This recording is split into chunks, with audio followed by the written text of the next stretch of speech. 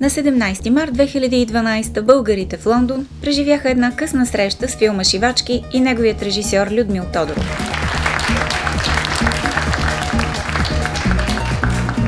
Това, което спечели зрителите във филма е, е емоционалното въздействие на филма, което е постигнато от смесицата между драматично, трагично дори и смешно комично. Виж сега какво момичета са страхотни. Това като са от провинцията, бе. Взимам ги и трите и до половин година всички моделки ще им лапат пушка.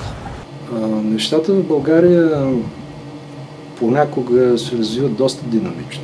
И ситуацията в страната от края на миналия век и сега доста различна. Едва ли ще да направя шивачки днес. Ти ще говориш така с мене? Какво искаш от мен? Да не лъжеш. Аз обичам да работя с, с, с дебютанти, с хора, които за първи път снимат кино. Човек трябва да се опитва да прави филми за неща, които познава отблизо. След прожекцията на филма се получи интересна дискусия между зрители и режисьор.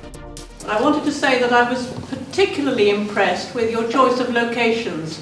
Това не е реална, реална къща. Когато искаш в киното да направиш силен образ, трябва да го големиш. Въпросът ми е какво целяхте с направата на този филм и защо през 2006? Това е финансови си причини. Направих този филм за човешката прошка, за прощаване. Много ми хареса и основната идея на филма, която е за това, че трябва да се, да се прости в крайна сметка и да се, да се запази приятелството. Не се предавай. Върви и ти. Няма смисъл, Ели. Коста съм много ревнив. Някой ме е говорил за мен и сега Дора направо ще ме довърши.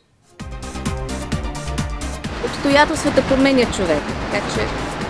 Но най-много ми хареса като характер Елена, но също така и Дора. Много силен характер.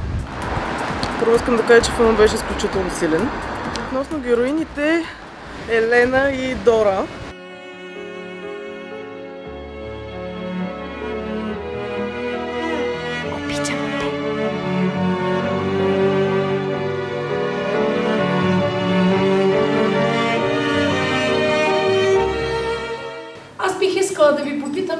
нещо по-ново. След това какво сте направили?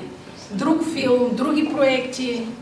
Преди няколко месеца завърших а, новия си филм. Той се нарича Миграцията на Паламуда и е комедия. И сега през април предстои да излезе по екрана.